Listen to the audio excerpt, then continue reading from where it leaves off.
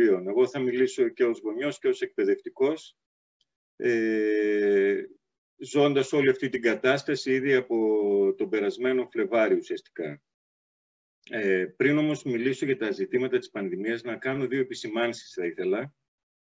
Μία ότι σήμερα ουσιαστικά κλείνουμε 25 χρόνια από την καταγραφή της στρατηγικής της Ευρωπαϊκής Ένωσης, του σχεδίου της Μπολόνια του 1995 της Συμφωνίας και τον πρώτο νόμο που είχε περάσει από τον Αρσένη το 1998 και οι οποίοι νόμοι συνεχίστηκαν ε, μέχρι και πρόσφατα από όλες, από όλες ουσιαστικά τις κυβερνήσεις. Ε, το σημαντικό στοιχείο σε αυτά, προφανώς και θα το αναλύσουμε εδώ πέρα, είναι ότι οδηγούν το σχολείο σε ένα σχολείο που θα αναπτύσσονται οι δεξιότητες, δηλαδή οι γνώσεις μιας χρήσης, ε, που τα παιδιά θα ξέρουν να χειρίζονται, όπως ξεκάθαρα έγραφε, τη γλώσσα, την ε, ε, αριθμητική πληροφορική σε επίπεδο χειριστή πληροφορικής και ξένες γλώσσες και ουσιαστικά θέτουν ως βασικό, βασική προϋπόθεση την, ε, ε, την διαβίωμα εκπαίδευση.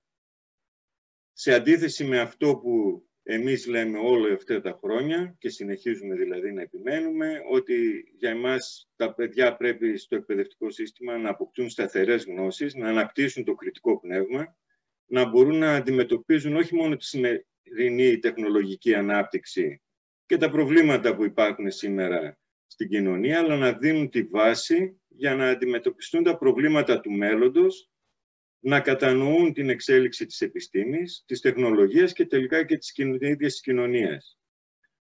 Ε, μια δεύτερη σημαντική διευκρίνηση είναι ότι σήμερα τα παιδιά, για να καταλάβουμε τα παιδιά που σήμερα είναι στην τρίτη ηλικίου γεννήθηκαν το 2003, είναι παιδιά που γεννήθηκαν και μεγάλωσαν μέσα στην οικονομική κρίση.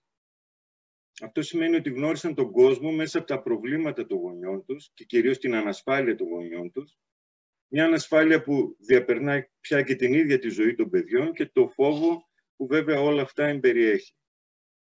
Ε, και σε όλα αυτά έρχεται να προσθεθεί βέβαια τα προβλήματα που προκύπτουν από την πανδημία. Τι ακούμε λοιπόν όλο αυτό το διάστημα από την κυβέρνηση, από τα κανάλια, από τα μέσα μαζικής ενημέρωσης. Ε, ότι τα παιδιά πρέπει να φοβούνται.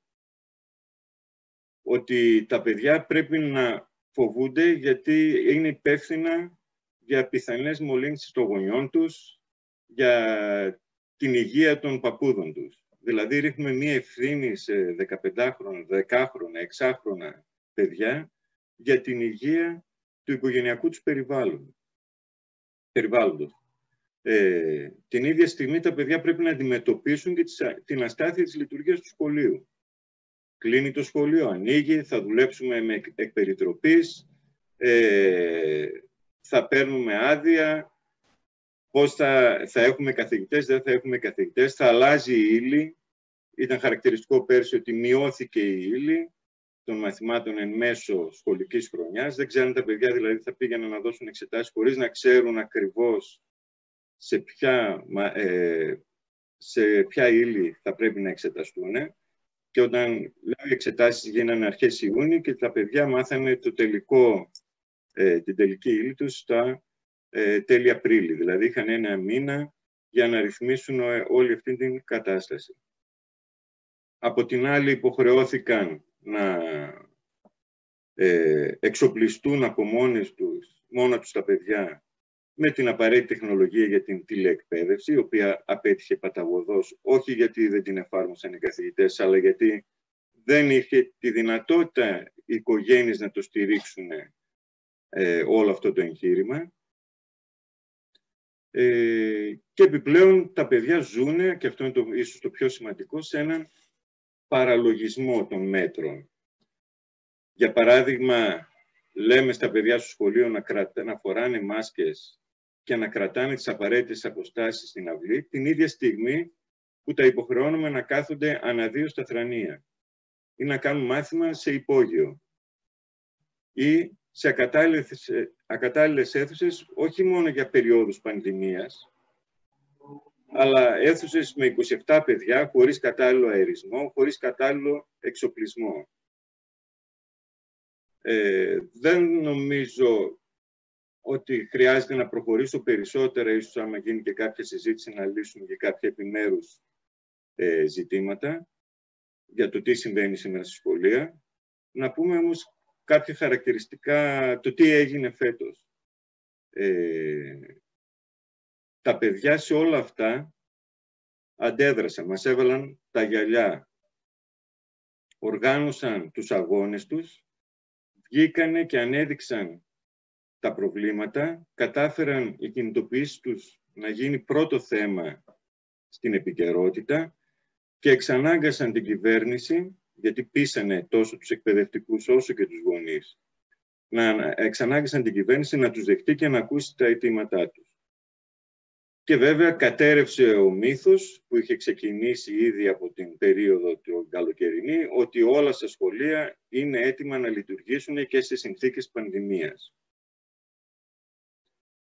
Το γονεϊκό κίνημα αντέδρασε έγκαιρα ήδη από τον Φλεβάρι, πριν δηλαδή το πρώτο κύμα της πανδημίας χτυπήσει, ε, ζήτησε συναντήσεις με το Υπουργείο, συναντήσεις οι οποίες δεν πραγματοποιήθηκαν, είναι η αλήθεια ποτέ. Ήταν ο μόνος κλάδος που δεν έγινε δεκτός από το Υπουργείο, ε, ο κλάδος δηλαδή του συνδικαλισμού των γονέων.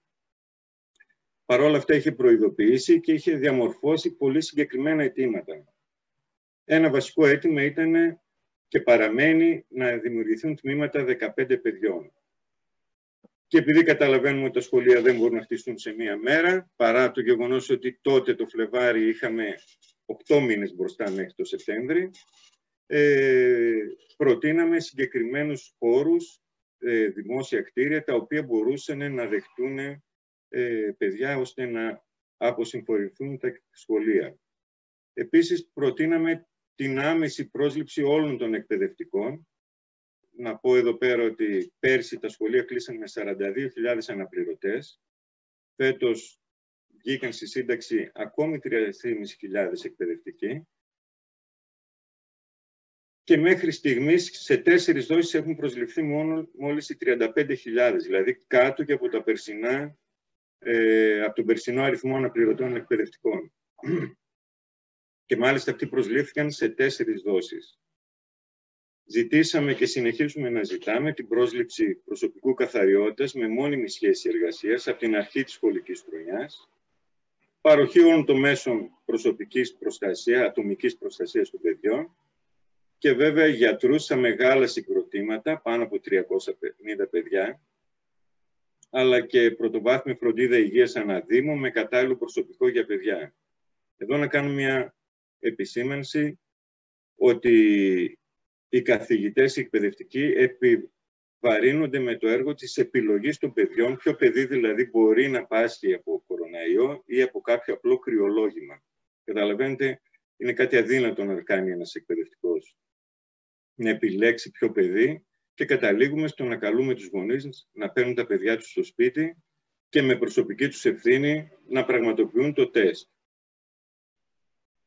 στο σχολείο τώρα που ήμουν στην Αριδαία, παιδί που νόσησε, μετά από δεύτερο τεστ βρέθηκε ότι είναι όντως θετικό, δηλαδή είχε περάσει ήδη μία εβδομάδα η λειτουργία του σχολείου κανονικά, γιατί περιμέναμε πόσοι γονείς θα καταφέρουν να κάνουν το τεστ. Είναι τέτοιες οι συνθήκες που έχουν δημιουργηθεί στα σχολεία.